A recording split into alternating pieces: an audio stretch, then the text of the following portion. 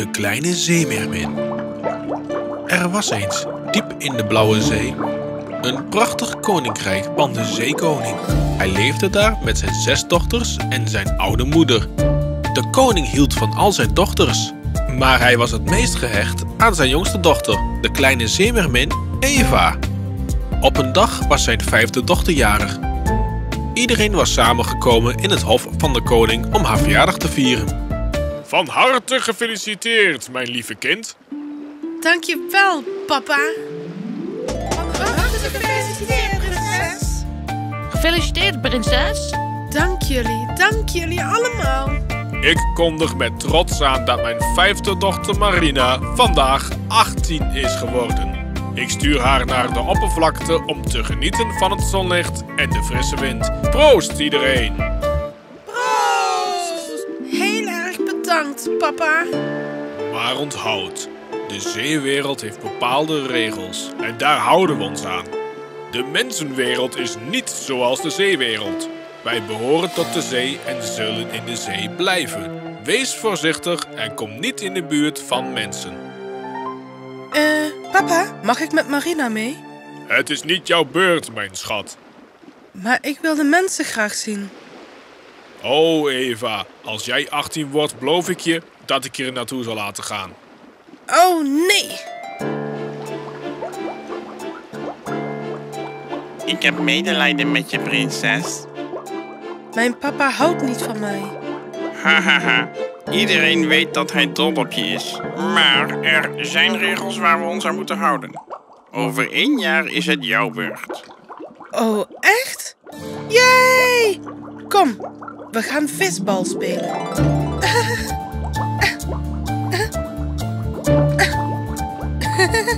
De kleine zeemermin was erg mooi. Ze was heel aardig tegen alle dieren in de zee. Iedereen was dol op haar. Oma, lijken mensen op ons?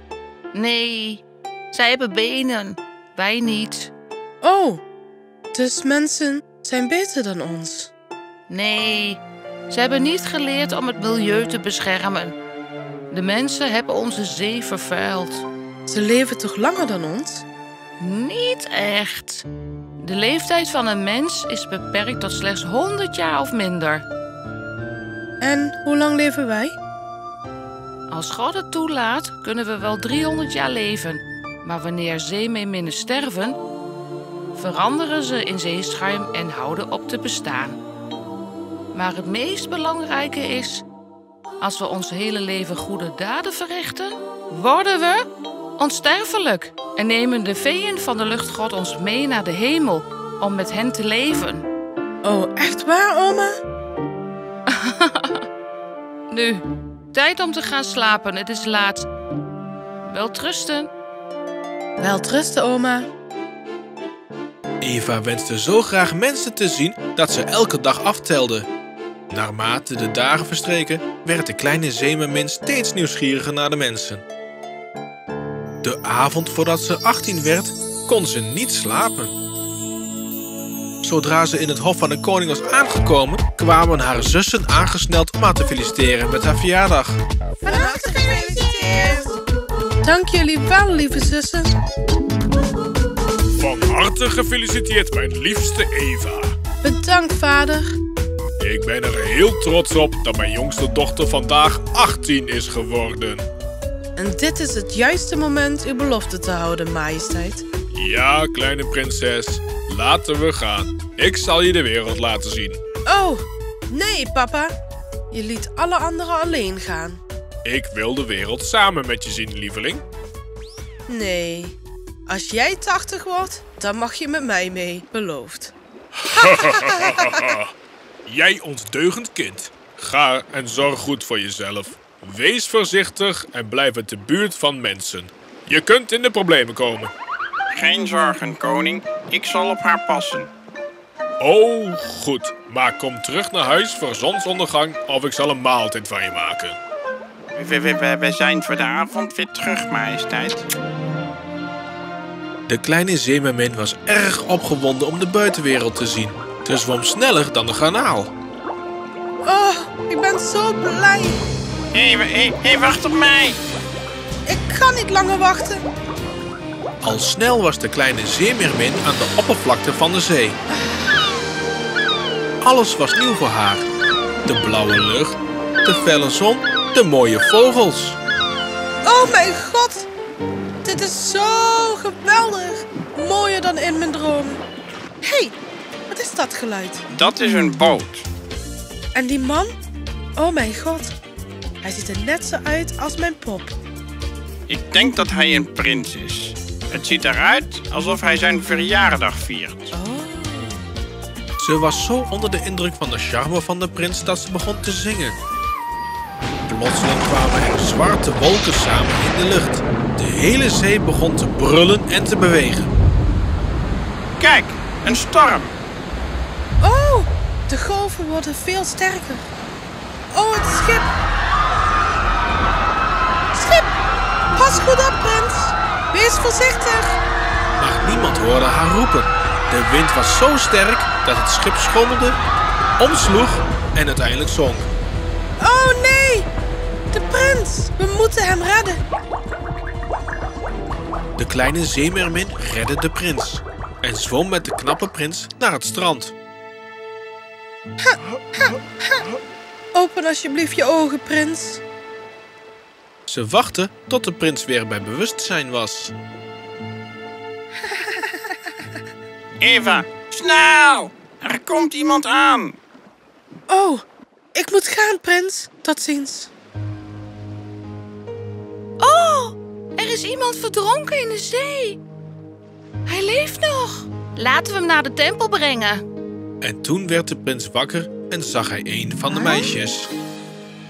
Bedankt dat je mijn leven gered hebt. De prins had niet in de gaten dat het de kleine zeemermin was die hem gered had. Oh nee, jij hebt hem gered en zij krijgt alle eer. Laat maar, joh. Ik ben gewoon blij om te zien dat hij nog leeft. De zon ging onder, dus gingen ze terug naar het koninkrijk. De kleine zeemermin was verdrietig, want ze wist dat ze de prins nooit meer zou kunnen zien. Ik hou van je, lieve prins. Ik wil alleen maar bij je zijn. Hij houdt van me, hij houdt niet van me. Hij houdt van me, hij houdt niet van me. Hij houdt van me, hij houdt niet van me. Ik voel een pijn van binnen. Is liefde zo slecht? Liefde is het mooiste wat er is in het universum. Het zal wel. Ja. Ik wil bij mijn geliefde wonen. Dat is tegen de wetten van de zee. Dat maakt me niet uit. Kan niet meer zonder hem leven. Ik heb één idee, maar het is riskant om je te helpen. De koning zal een hapje van me maken. Vertel, geen zorgen over vader. Oké, er is één persoon die je kan helpen, maar het is gevaarlijk om met haar in de zee te gaan. Ik ben bereid om alles voor mijn prins te riskeren. Vertel, wie is het? De zeeheks van de Zwarte Bergen. Het is te riskant om erheen te gaan. Ze twijfelden niet langer. De kleine zeemermin en de kanaal verlieten het paleis en gingen naar de heks. De heks zag in haar magische bol dat de prinses naar haar toe kwam. Arm meisje. Het is voorbij. De prinses is het meest geliefde en behulpzame schepsel van deze zee. En vanwege haar goede daad zal ze een luchtvee worden in het hiernamaals. En dat zal het einde zijn van al je zonden. Op het moment dat zij een vee wordt, verlies jij je leven. Nee, dat zal ik niet laten gebeuren. oh, kijk, kijk. Waarom is de dochter van de koning naar de heks gekomen? Ik wil graag een mens worden. Oh, voor de jonge prins. Ja, ik ben verliefd geworden op de prins. Het zal je verdriet brengen, mooie prinses. Maakt niet uit. Ik wil gewoon bij hem zijn. Weet je het zeker? Kun je zijn hart winnen? Ja, dat zal ik. Goed. Ik kan je in een mens veranderen. Maar je zal er een prijs voor betalen. Ik zal alles betalen wat ik kan. Oké. Dan wil ik je mooie stem in ruil hebben. en denk eraan, als de prins echt verliefd op je wordt, dan word je een mens en zal je stem terugkomen. Maar als je zijn liefde niet wint, sterf je met een gebroken hart en los je op in zeeschuim. Ik, ik zal alles voor hem opofferen. Oké, neem dit toverdrankje mee. Drink het op als je de kust bereikt. De kleine zeemermin nam het toverdrankje en zwom richting het strand. Ze bereikte de oppervlakte en dronk het toverdrankje. Plotseling maakte een sterke pijn haar bewusteloos en haar staat veranderde in benen. Toen ze wakker werd, zag ze de prins naast haar. Open je ogen, mooie dame. Je bent veilig. Maar waar kom je vandaan? Ik vond je op het strand en bracht je hierheen. Alsjeblieft, rust even uit. De volgende dag begon de kleine zeemeermin met lopen. De prins zag haar en keek erg blij. Wauw, ik ben zo blij vandaag. Wil je met me dansen? Wauw, je danst heel goed. Ik ben zo blij vandaag. Ik heb de liefde van mijn leven gevonden. Jee, hij is ook verliefd op jou. Kijk, mijn vader is terug. Welkom terug, vader. Ik stel je voor aan de liefde van mijn leven. Ze heeft mijn leven gered. Ik hou van haar, vader. Ik wil met haar trouwen. Mijn lieve zoon, jouw geluk is mijn geluk. Het hart van de kleine zeemeermin was gebroken. Ik voel een vreselijke pijn in mijn hart. De koning kondigde het huwelijk van de prins aan. Ik ben hem voor altijd kwijt. En nu zal de eerste straal van de dageraad me de dood brengen. En zal ik in de oceaan verdwijnen. De garnaal bereikte het paleis en vertelde alles aan de zeekoning en zijn dochters. O God, zegene mijn dochter. Ik weet dat dit een truc is van de heks.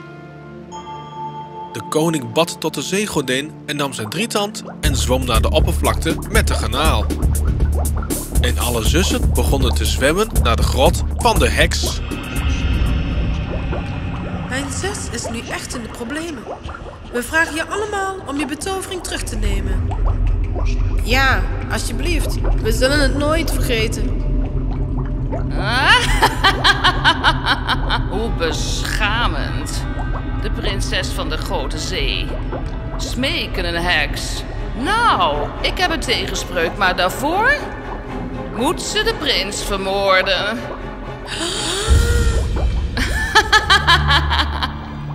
Als de kleine zeemeermin de prins met deze magische dolk doodmaakt. Alleen dan kan ze teruggaan naar haar leven als zeemeermin. De zussen zwommen naar de oppervlakte en vertelden hun vader over de tegenspreuk.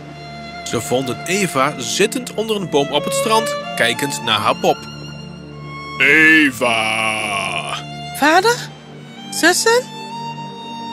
Huil niet, mijn kind. Als je de magie van de heks ongedaan wilt maken, moet je doen wat ik zeg. Je moet de prins doden. En dan verander je weer in een zeemeermin. Nee, vader. Ik weet dat je van hem houdt, mijn kind. Maar hij kan nooit de jouwe zijn. Doe het voor je vader, Eva. Zonder jou zal ik sterven, mijn kind. De kleine zeemeermin keek naar haar vader en zussen, die allemaal huilden. Ze nam de dolk en ging naar het paleis. De prins lag te slapen in zijn kamer. De kleine zeemeermin zette de dolk op de borst van de prins om hem te doden. Oh, oh God. Ik kan het niet doen met mijn liefde. Ik ga liever zelf dood dan dat ik hem dood. Hij kan met zijn liefde trouwen en gelukkig leven. Veel geluk, mijn liefde. Ze ging terug naar haar vader en haar zussen. Die waren geschokt om de dolk zonder bloed te zien. De zon kwam bijna op. Ze liep over het strand en sprong met haar pop de zee in. Ik wil verdwijnen en in schuim veranderen. Vaarwel, mijn liefste. Vaarwel, mijn vader. mijn zussen. Vergeef me alsjeblieft. Vaarwel. Plotseling haalde een mysterieuze kracht haar uit het water. De luchtelfjes verschenen en haalden haar uit zee. Oh god, moeders. Heel erg bedankt dat je het leven van mijn dochter hebt gered. Waar ben ik? Je bent bij ons in de lucht. Wij zijn de luchtelfjes. Wij zijn hier om je de beloning te geven voor je vriendelijkheid, je liefde voor mensen en zeedieren. Je kunt nu een onsterfelijke ziel krijgen en je zult in de toekomst als een mens geboren worden. Dank je wel, goede feeën. De kleine zeemeermin zwaaide een laatste vaarwel naar iedereen. Ik zal altijd van je houden, mijn lieve prins. In je volgende geboorte ben je weer mijn geliefde. Vaarwel, mijn liefste, vaarwel. En ze gingen omhoog, de hemel in, met de luchtelfjes.